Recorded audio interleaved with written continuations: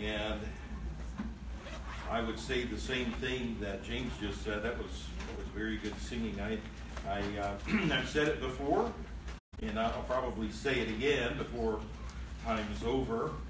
Uh, I, I enjoy hearing everybody singing. That's a good thing.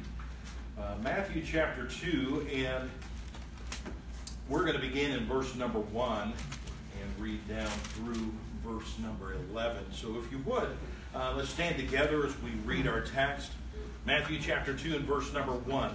Now, when Jesus was born in Bethlehem of Judea in the days of Herod the king, behold, there came wise men from the east to Jerusalem, saying, Where is he that is born King of the Jews? For we have seen his star in the east, and are come to worship him. When Herod the king had heard these things, he was troubled, and all Jerusalem with him. And when he had gathered all the chief priests and scribes of the people together, he demanded of them where Christ should be born. And they said unto him, In Bethlehem of Judea, for thus it is written by the prophet, And thou, Bethlehem, in the land of Judah, art not the least um, among the princes of Judah, for out of thee shall come a governor that shall rule my people Israel. Then Herod, when he had privily called the wise men, inquired of them diligently what time the star appeared. And he sent them to Bethlehem and said, Go and search diligently for the young child. And when ye have found him, bring me word again, that I may come and worship him also. When they had heard the king, they departed, and lo, the star which they saw in the east went before them till it came and stood over where the young child was. When they saw the star, they rejoiced with exceeding great joy. And when they were come into the house, they saw the young child with Mary his mother and fell down and worshipped him. And when they had opened their treasures, they presented unto him gifts, gold and frankincense and myrrh. And let's go to the Lord in prayer. Father, again, we are thankful for each one who's here. We thank you for uh, the opportunity we have today to be able to meet together and to be able to look into your word and see what it has for us. And Lord, I pray that as we look at your word, that every one of our hearts would be open before you, that you might be able to have your will and way in each of our hearts, in each of our minds, in each of our lives today. Lord, bless in this time, we pray in Jesus' name. Amen. Thank you. You may be seated. We want to consider this afternoon a gift for the Savior. A gift for the Savior. You know, uh, it's always exciting to come to this time of year when gifts are exchanged with friends and uh, those we know and love. And you watch the kids. I'll never forget some years ago. Uh, it would have been before. Yeah, that bothers me. So uh, it would have been before my wife and I uh, were married. Uh, it was um, my nephew was almost two, I think. So he was he was to the point of talking to some degree. He could walk and that sort of thing. But uh, anyway, so that Christmas we were at my grandparents and he got his first gift, and he got, I don't know, a Tonka truck or something, you know, a dump truck, some sort of truck. And so he was playing with that. He thought that was great. And my dad, his granddad, said, Now, Ross, here's another gift. I don't want it. and he kept saying that all the way through. I don't want it. Uh, he was so caught up and so excited about the one gift, he didn't care about the rest of it. now that he would think that way today, I would be shocked. But uh, anyway, that's that's how kids are, and it's fun watching kids. You know, as they open their gifts and different things, and and uh, uh, you know, it, it's fun even watching my kids when they were younger. Uh, they still do this to some degree, but it's not exactly the same. But I've watched them, especially like on a birthday. So mom and I, that is Becky and I, we're trying to get pictures of the boys opening their presents, and we can't hardly do it for the other two standing there so close. They want to see what it is, and they're so so excited. And it's not that they want it; they're just so excited about their their gift that we don't know what it is, and we need to find out. And this is important to us, and and uh, you know that, that's just a, so much fun uh, when when we can do that and when we can see it. But you know, in, in our gift giving uh, we need to be careful not to be guilty of giving some of the worst gifts ever. And uh, as I was studying, and, and I do this, I do this really to kind of bring some humor because there it may be lacking a little later. Uh, but this came off of um, the Good Housekeeping website. They have an article about like the 31 worst gifts ever, and some of them I didn't think were so bad myself. But I'll give you I'll give you four of the 31 that they had. Just just throw them out there. Number one, exercise gear of any sort, any kind of exercise gear. We all have at least one friend who's obsessed with fitness. This is what they said. But you don't want to risk unintentionally insinuating that she needs to lose weight. That's a good way to lose friends, not to impress them. Uh, here's another thing, and I actually I've seen this happen before, and you probably have too, and that is gifting someone a calendar from the year you're giving it. Now, when you do that at Christmas, you know what you've done enjoy it for the next six days because then it's no good. You know, otherwise you can frame the pictures and put them around the house if you want. So that was the second one. The third one, which I, I thought this was humorous, is cleaning supplies. Yeah, that's uh, your favorite cleaning tools and sprays might put a smile on your face, but your friends and family are going to wonder what you're really trying to say uh, if they were to open them as a gift. And yeah, I can I can see that. Uh, and then the, the fourth one, I thought this was uh, also humorous. Uh, that is clip on hair extensions. I don't need them. Uh, anyway, I don't know anybody that's, you know, that's right there at the top of their wish list. I would love to. Anyway, let's go on. Uh, but as we think about giving gifts, and what are we going to give? And that, that's, you know, that's the thing.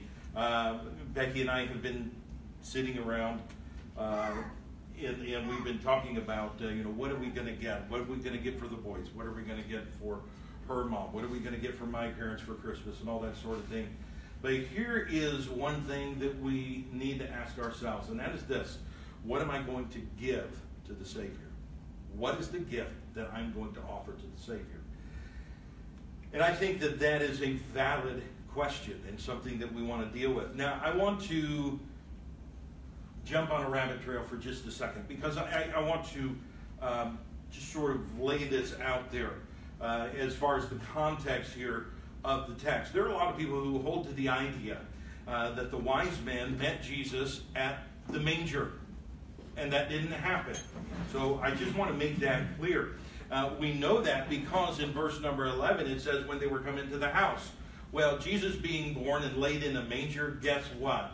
Most people don't have a manger in their house.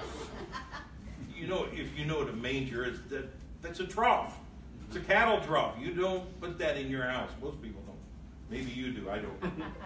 Uh, but anyway, it's found in a house. Rather, he was found in a house. Jesus was. And also, another thing that it does differently here is it calls him in verse 9 as well as in verse 11, it calls Jesus a young child instead of a baby.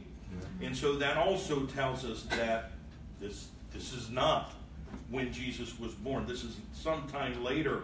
And then also the other thing that is a clue to that is uh, we, we read in uh, verse number 7 how that Herod asked these wise men, that uh, what, what time they had seen the star. And of course, they, they told him because they had no idea what was in his mind. And then in verse 16, you find that King Herod sends out a decree to kill every child in the city of Bethlehem from age two and under. Again, that tells us Jesus was not a newborn here. Otherwise, there'd be no need to start at two years and go down. Uh, just no need for that at all. Another thing that, uh, that we can learn uh, just, just from looking at this is that there were not three wise men. Now, that, that's another of the traditions. There were three wise men. Yes, there were three gifts, but there were not three wise men because Jerusalem, that was, that was the capital of Herod's kingdom. And he being a king under the, uh, or by the pleasure of the Caesars. And so that was his capital. The capital city is not going to be set in an uproar over three people coming to town. That's sort of like, you know, when we moved here, there's five of us. When we moved to Edmonton, being the capital of Alberta, they didn't have a write up in the paper about us. they have still yet to call our number.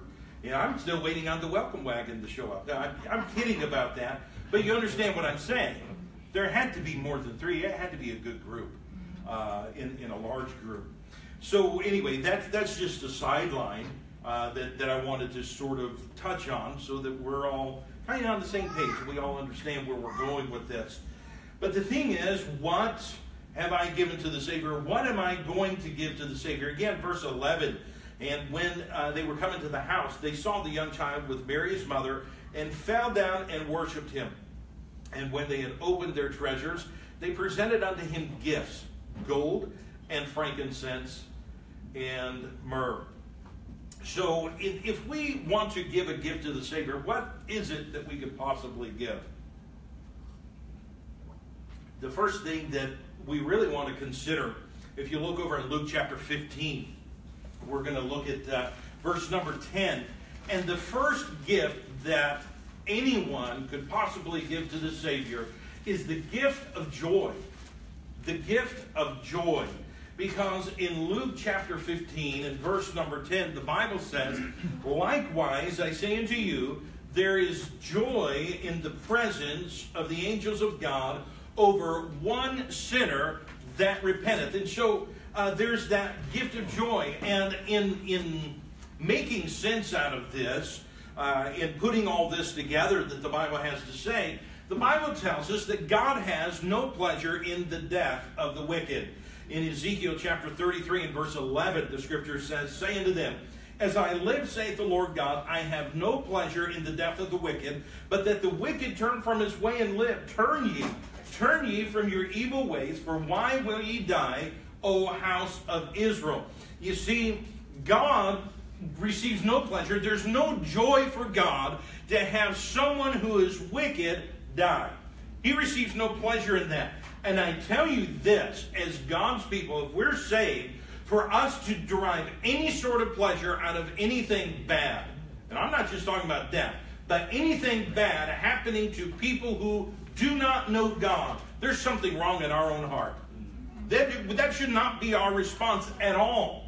But uh, it, what the Bible tells us is that the wicked will not spend eternity with God. There, look, the idea that eventually everyone is going to go to heaven, eventually everyone is going to be in the presence of God, that's man's idea. You know why that's man's idea? Because man does not want to be responsible for his sin.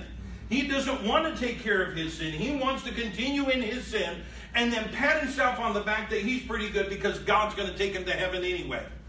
That's silliness, and that is not what the Word of God teaches. What the Word of God teaches is that the wicked will spend eternity in hell. Oh, this is Christmas time. We're not supposed to talk about it, but it's still true. In Psalm 9 and verse 17, the Bible says, The wicked shall be turned into hell, and all nations that forget God. So it's the wicked that are turned into hell. Now, before we get all excited about this, let's define terms. Who are the wicked? Who is it that is wicked? Now we're going to look at the scripture. If you want to look over in the book of Psalms, chapter 10, or the 10th Psalm, either one. Uh, we're going to look at a few verses here. And here in this psalm, the Lord talks about the wicked, and it describes them for us. It defines who the wicked are uh, to us, and it gives us an understanding. It's interesting how so often we like to define words. And we like to define words according to what's going to benefit us, according to what is going to make us look the best. Uh, when actually God defines things for us in His Word, all we have to do is look. And we find that. But here in verse 2 of Psalm 10, we find it says this The wicked in his pride doth persecute the poor. Let them be taken in the devices that they have imagined. So, first of all, the wicked are those who will criticize those less fortunate than themselves. Not only criticize, but they will actively do things against those who are less fortunate than themselves. Shall we talk about young people in school? Because when I was in school, in elementary school, I was not the most well off in school. In fact, I was one of the least well off in my particular school. And uh, people would make fun of me because of the clothes I wore. People would make fun of me because I brought a sack lunch from home and I didn't get to eat in the school cafeteria with the, the hot food and things uh, that they had there. And what was going on? They were criticizing someone who was less fortunate than themselves. What does God say that those young people were? They were wicked. That's what they were. And look, that is just a very basic illustration. As we look around us, all around this city, you look in your own life, you need to be careful that you're not in the same boat. Also, look at verse 3. It says, For the wicked boasteth of his heart's desire, and blesseth the covetous, whom the Lord abhorreth. So, not only are the wicked those who criticize or persecute those less fortunate, but the wicked are also those who have a concern for no one but themselves. All they care about is themselves. You get out on you get out on the Henday and you find out real quick that everybody's in it for themselves. Is this not true? Now, what does uh, what does the handbook and, and don't answer this if you haven't read it. What does the handbook say about entering a highway or any limited access road? When entering, you are to yield to the traffic that's already on the road. What do people do when they get on, on the highway? Oh man, they gas it and they cut people off that are already on the road. Oh, I got to get in here. And and the thing that I love, there's the sign that says the road is going to narrow down because of construction. So what do we do? We get over because we're smart. What does everybody else do? They give it gas, they run up to the barrier where they can't go any farther, and then they expect somebody to let them in. Mm-hmm. what are they saying? I don't care about anybody but me. That's what they're saying. And again, I am using an extremely basic illustration to show you what God says is a wicked person. So who's wicked? Wickedness, we say, oh, wickedness. Oh, that's a horrible thing. That's a murderer. That's not what God says. The things that we call little sins and really not that big a deal, God says that's wickedness. Let's go on because we're having so much fun. Look at verse 4. It says, The wicked, through the pride of his countenance, will not seek after God. God is not in all his thoughts. So, what do we find about the wicked? They have no inclination to submit to God or even acknowledge his existence or power. No inclination to submit to God. God says, but they say, but I feel, but I think. I've always heard that is someone who is living in wickedness, who has that idea. Oh, but they're good people. But God says, look, we know what the scripture says let God be true and every man a liar. What God says is right what we think needs to adjust to what God's told us. Then look in verse 5. Talking about the wicked, it says, His ways are always grievous. Thy judgments are far above out of his sight. As for all his enemies, he puffeth, puffeth at them. So the wicked are those who con- are constantly hurtful. That's the word grievous, uh, what the word grievous means. It means hurtful or harmful. They have no con- concern about the pain they've caused. None whatsoever. They don't care. Because again, going back what we already talked about, all they care about is themselves. So if they've got to hurt somebody else, if they've got to, do we not have this in, uh, you know, in in uh, a lot of people's careers? They don't care who they have to step on to get the position they're looking for. Yeah, it's true. They'll lie on their coworkers. They'll do anything they have to just to, to get what they want. That's wickedness according to God. And God says he has no pleasure in their death. God also says he has no pleasure in their life, in their living now. In Psalm 7, verse 11, God judgeth the righteous, and God is angry with the wicked every day. He's angry with the wicked every day. He doesn't simply ignore, say, well, you know, that's them. That's just their personality. That's just their culture. That's just the way they are. It's fine. You just have to learn to overlook things. God doesn't do that. God doesn't have to do that.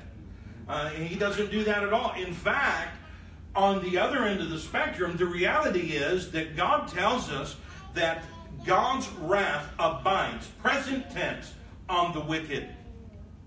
Present tense. In John 3, in verse 36, it says, He that believeth on the Son hath everlasting life. And he that believeth not the Son shall not see life, but the wrath of God abideth on him. So God is not pleased with the wicked. There's nothing there. He's not pleased in their death. He's not pleased in their life. But if they will turn to Christ, that brings God pleasure. Because then God is able to display his mercy by restoring the fellowship that has been broken between himself and someone who has been wicked. And see, he can do that. He can restore that fellowship because he's already done everything necessary to restore fellowship in the person of the Lord Jesus Christ. The Bible tells us in Romans 6:23, "For the wages of sin is death, but the gift of God is eternal life through Jesus Christ our Lord." So there, he's already done everything there is, and uh, and so then God is pleased when the wicked surrender to the offering of God's Son, so that they might be saved. In Hebrews 10 and verse 10, by the which will we are sanctified through the offering of the body of Jesus Christ once for all. And then God will forever rejoice in this grace and mercy uh, that saved a wicked sinner. Ephesians 2 and verse 7 that in the ages to come he might show the exceeding riches of his grace in his kindness toward us in Christ Jesus. So you say, what is it? What is it that we could give as a gift to the Savior? The very first thing is the gift of joy. And the gift of joy by turning from our sin and turning to Christ as the only hope of salvation that we have. Because there is no other hope for salvation. It doesn't matter how good you are because look, we already talked about these things and what it means to be wicked. You know, that person who cuts people off in traffic, they may give all kinds of money to charity. They still cut somebody off in traffic. So as far as God's concerned, they're still wicked. You don't you don't compare. You don't weigh out things. God doesn't work that way. If you're guilty, you're guilty. There's no, there's no uh, extenuating circumstances. There's no, well, but I did this and I did that. Just, just imagine someone who's on trial for murder, and uh, and and everybody knows they're guilty. Even they admit that they're guilty. Yeah, I, I did it. I, I killed the person. Uh, but you don't understand. I gave all this money to charity. What do you think the courts would do at that sort of defense? Well, I know what the courts should do, but uh, sadly, uh, sometimes courts take are taken in by those kind of defenses. God's not taken in by that kind of defense. You see, if you're guilty of being wicked as God defines it here, God has no pleasure in that, and you are guilty. And only Christ can make a difference in your life. And that brings God joy that you would trust Christ. But let's talk about the believer's gift for the Savior. And, and again, here in verse 11, says, When they were coming to the house, they saw the young child with Mary's mother, and fell down and worshipped him. And when they had uh, opened their treasures, they presented unto him gifts, gold and frankincense and myrrh. So just think about that. There, there was gold, that's of course the most precious metal uh, that, that this world knows. Then there's frankincense, which is a dry resinous substance in pieces or drops in a pale yellowish white color. Has a bitter, acrid taste and very flammable. It's used as a perfume. I don't know why you'd want to eat it if you're going to use it as a perfume. Anyway, I don't know. But then there's myrrh. And that is a gum resin that comes in the form of drops of various colors and sizes, a pretty strong uh, but agreeable smell, they say, and a bitter taste, uh, is used as a medicine for, for a lot of different things. You can use it as a medicine. And uh, so we'll, we'll kind of tie that in here in just a minute. But their motivation, what was their motivation? Because they said, when they first came to Jerusalem, we already read it back here. When they first came to Jerusalem in verse 2, they said, Where is he that is born, King of the Jews? And so what they were doing is they were bringing gifts that were appropriate for someone of that station. They were looking to bring something that would be appropriate for a king. So they weren't trying to be cheap They weren't trying to get away with, uh, uh, well, you know, I haven't used this or I, have used this and I, I'm done with it now, so now I'll give it to Jesus and, and see what he can do with it now. Uh, we, you know, that, that's not what they did at all. Uh, I, I've mentioned before, years ago when, when I was young, my dad pastored in Michigan, and uh, we were going to uh, bring in secondhand clothing to send out uh, to uh, one of the reservations there in the U.S. where we had a, a missionary that we supported, and uh, we had to we had to look through those clothes. By we, I mean my dad and mom, because I was too little to do that. But uh, we had to look through the clothes, and we threw out probably half of it because you have you know socks with holes in them, you have you know underwear, and who wants secondhand underwear? Mm-hmm. Don't raise your hand, please. uh, I mean, just you know, you've got pants with the knees ripped out. This was the '70s. That wasn't popular then. You know, it's not like today where you could you know put it on eBay for 500 bucks and sell it. And and uh, you know, it was just what it was is people said, "Oh, we can't use this anymore. Let's take it to church." You know, they can get a lot of good out of it. And what I'm saying is, when we bring a gift to the Savior, we have to remember who we're bringing it to. And we are bringing it to the King of Kings and the Lord of Lords. And He deserves the very best that you and I have to offer. He does not deserve to be given our leftovers and what we don't want anymore and what we don't care about anymore. And I'm jumping ahead of myself, but I'm going to repeat this before we're done, I promise you, because this is something we really need to get a hold of. So let's think about some things uh, uh, that we can bring to the Savior. First of all, think about a gift that we can bring to the Savior. It has to be something that we have. It has to be something that we have. You cannot give something that is not yours. For example, I cannot take Noah's suit that he's wearing and give it to Lakon. Say, here's a suit for you. I am giving you this suit. It's not mine. I don't have it. And if I say, I really would like to give him a suit, but I don't have one, then I can't give him a suit. and I can't give him one of mine because three of him could fit in it. And that would be embarrassing. But what we give to the Savior has to be based on what we have in uh, 2 Corinthians chapter 8 verse 12, the Bible says this, For if there be first a willing mind, is accepted according to that a man hath, and not according to that he hath not. So we give the Savior something that we already have. Now, look, what are we doing in salvation? We're giving God our sin. We already have that, and we have that in bounty, don't we? We're also giving Him us, our whole being. That's what we're doing in salvation. We have us, but we're giving that to Him. And that's what we ought to do. Uh, but then we also need to give of that which we have. Then, secondly, uh, when, when we're thinking about what am I going to give to the Savior, not only does it need to be something that I have, but it also needs to be something worthwhile. Again, the best we have to offer. The wise men did not go cheap. They didn't give Jesus brass. You know, brass, if you if you polish it rightly, it can sort of look like gold. They could have done that. See, I mean, it's good enough.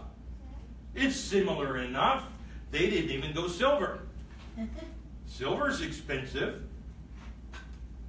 But they didn't even do that. They went to the most costly thing, something that was worthwhile, not something cheap in 2 Samuel chapter 24 verse 24, if you remember the context, God is judging Israel because of David's sin. And uh, here's the, the angel of death going through the nation, and he's coming to Jerusalem. David sees this, and he wants to offer a sacrifice to God uh, as, a, as a way of essentially uh, saving the city from destruction, uh, from, from the uh, angel of death there. And so he goes to this mount, which ended up being the Temple Mount, if you follow the story along. Uh, and so he goes there, and here's this guy. Uh, his name's Araunah, and uh, he's uh, he's a Jebusite. He owned that land, And the king says, I need to buy this land. Not only the land, I need to buy the threshing floor, and I need to buy your oxen because I need to give an offering to God. And Araunah, the guy, says, I, I'll just give it to you. I'll just you do whatever you want to do with it. I'll give it all to you. And here's what David said in 2 Samuel 24, 24. And the king said unto Araunah, Nay, but I will surely buy it of thee at a price. Neither will I offer burnt offerings unto the Lord my God of that which doth cost me nothing. You see, there's a principle there. What we offer to God ought to cost us something.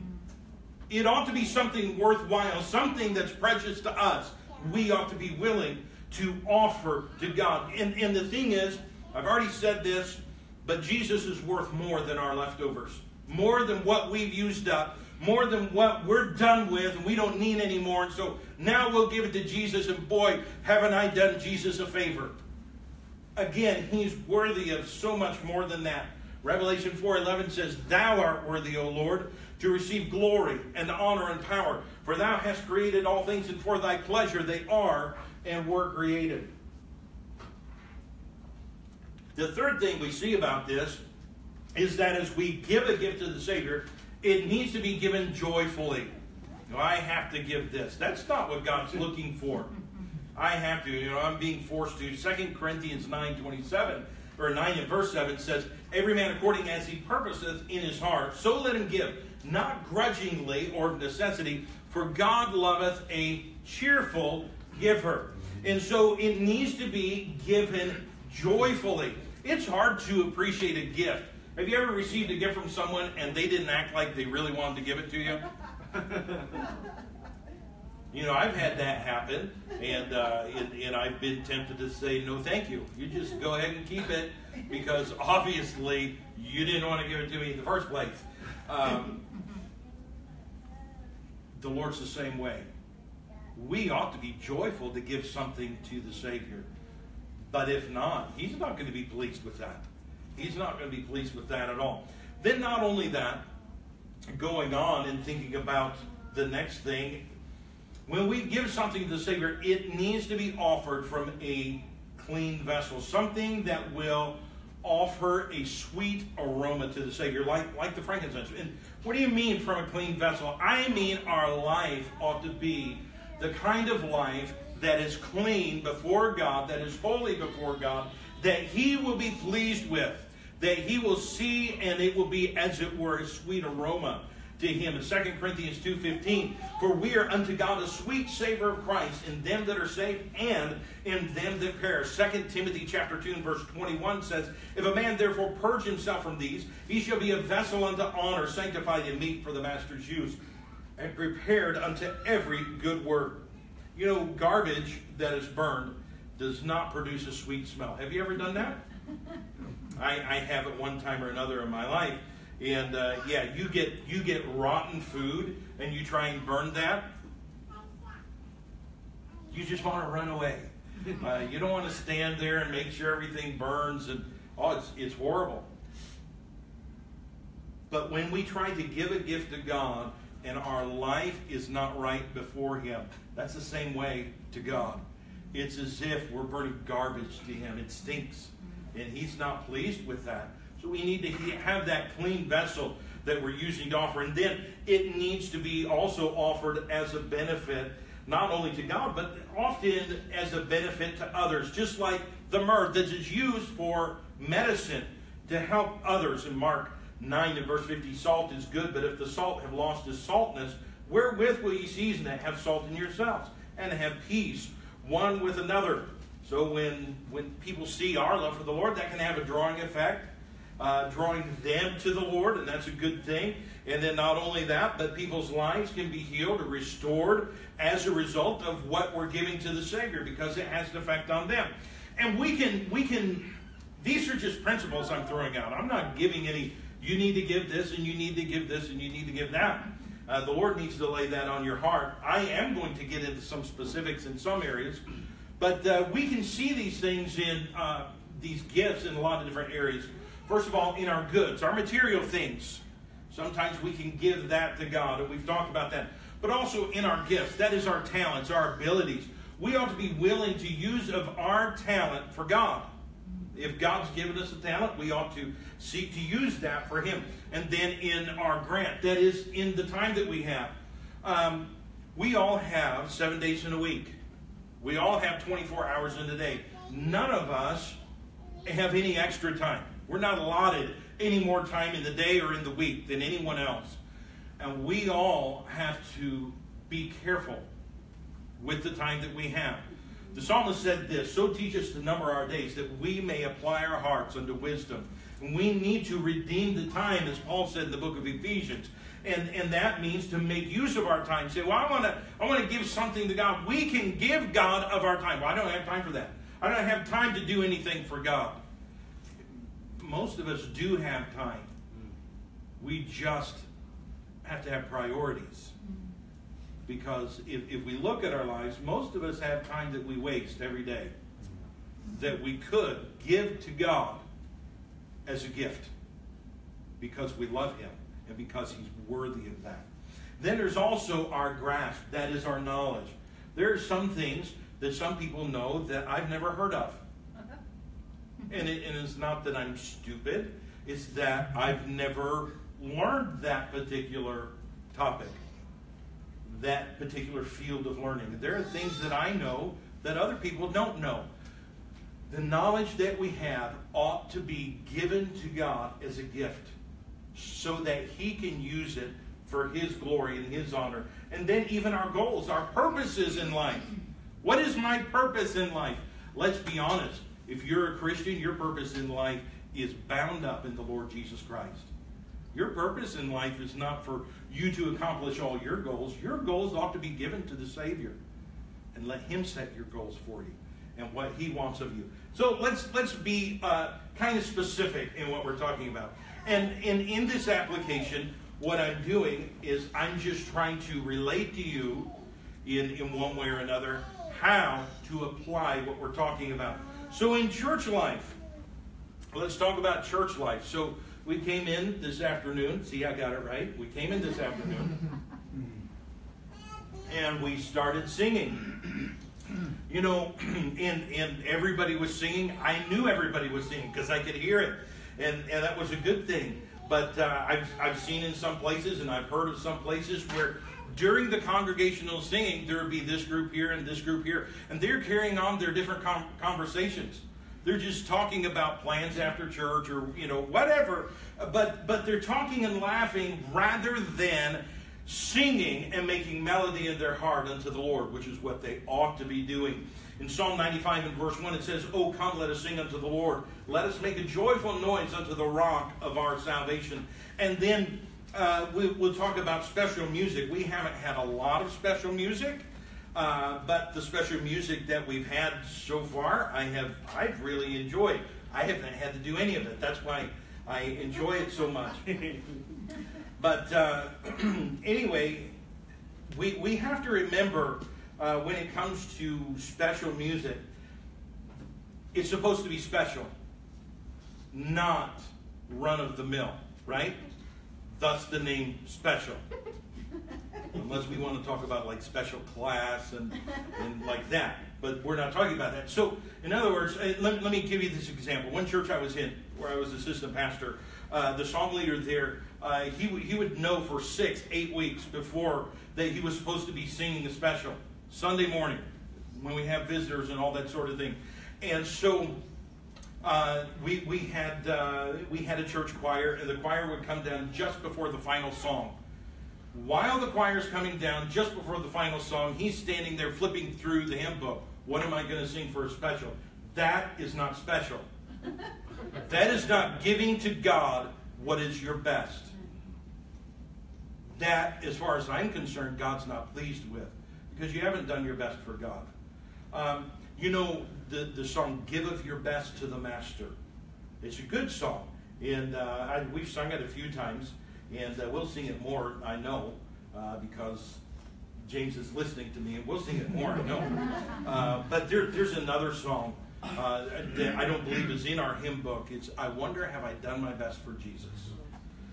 And I tell you, especially when it comes to something when one individual or a group is going to stand before the church and present special music, we always ought to do our best for the Lord. In uh, 1 Chronicles 15 22, it says, And Chenaiah, chief of the uh, Levites, was for song. He instructed about the song because he was skillful. What does that mean? It means he did his best.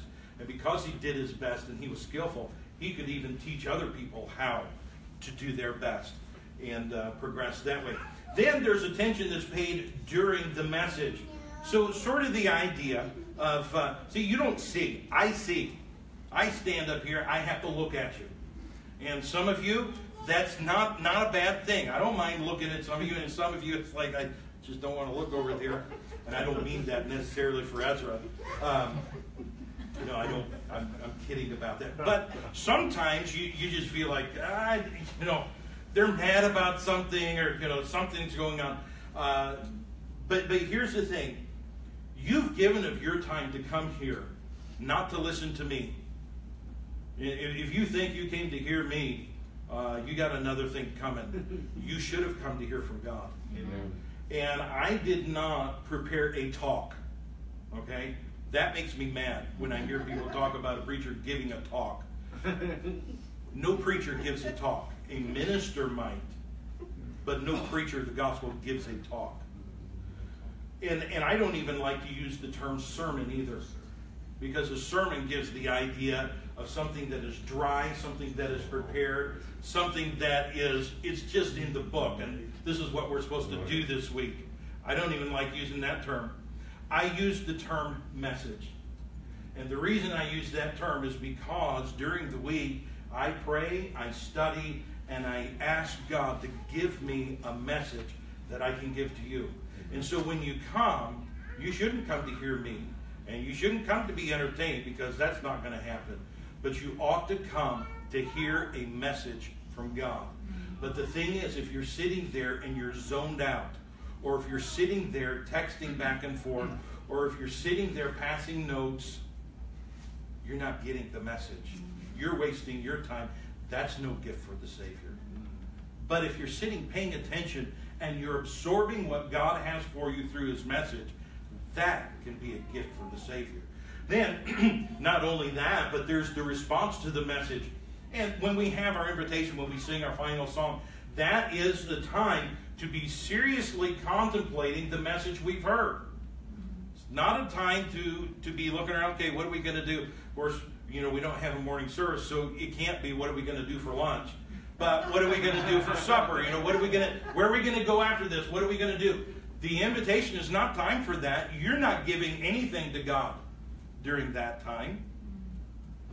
I'm just, and I'm not saying there's been a problem with this. I'm just giving you some examples uh, so let's go on and talk about everyday life. And in everyday life, we ought to put God first. Is this true or is this not true? We ought to always put God first. We know what Jesus said in Matthew 6, but seek ye first the kingdom of God and his righteousness, and all these things shall be added unto you. So we ought to always put God first by spending time in prayer and spending time in reading the Bible. Now, I do not mean that we ought, every one of us, be up early in the morning reading our Bible. Because for some of us who are not morning people, getting up early in the morning reading our Bible does nothing for us. Nothing. Because believe me, I've tried it. Uh, when I was in Bible college, we had to get up 5.30 every morning. Now, you know, I'm not bragging about that. I would have changed it if it was up to me. Uh, but we were up 5.30 every morning, and we had to be reading our Bible. And then we had to make notes of everything we got out of the Bible. Look, I had to wake up while I was writing things. And then think, what was I writing? I don't know. You know, so I just write down. It, was, it was stupid. It really was. Because I'm not built that way. I'm not built to do that. But what I mean by putting God first is you set aside a time this is when I'm going to spend time in the Word of God. This is when I'm going to spend time in prayer. And you don't let anything get in the way. You keep that where God is always first at that time. And then also expressing to others the character traits of a believer. Look, you know, being a Christian is more than just coming here and meeting and listening to a message from God. Being a Christian is much more than that. Being a Christian is an everyday activity. It is a lifestyle, to be very honest. Being a Christian is a culture in and of itself. And we ought to exemplify that Christian culture to everyone around us. In 1 Peter or 2 Peter chapter 1, in verse 5, Peter says this, and beside this, giving all diligence, add to your faith virtue, and to virtue knowledge, and to knowledge temperance, and to temperance patience, and to patience godliness, and to godliness brotherly kindness, and to brotherly kindness charity.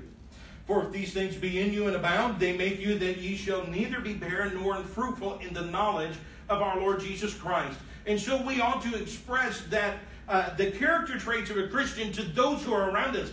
And look, as we're doing that, what are we doing? We're giving a gift to the Savior. Because we're saying, I am taking on myself these character traits that are not me, but I'm doing it because the King is worthy. And I'm doing it for him. And not only that, but just, just doing our best at every task that's given to us. Taking out the trash, cleaning the toilets, cooking, you know, washing up afterward. Ecclesiastes 9.10 says this, Whatsoever thy hand findeth to do, do it with thy might, for there is no work, nor device, nor knowledge, nor wisdom in the grave, whither thou goest.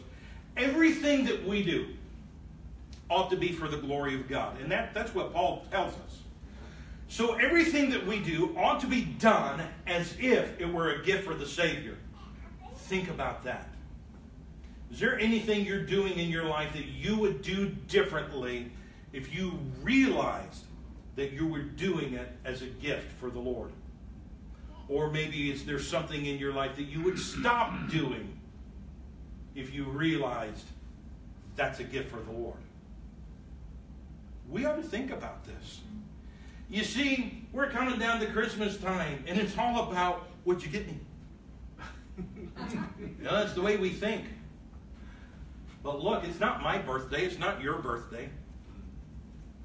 We are commemorating the birth of Christ. What are you giving the Savior this year? Let's stand together with our heads bowed and eyes closed. And let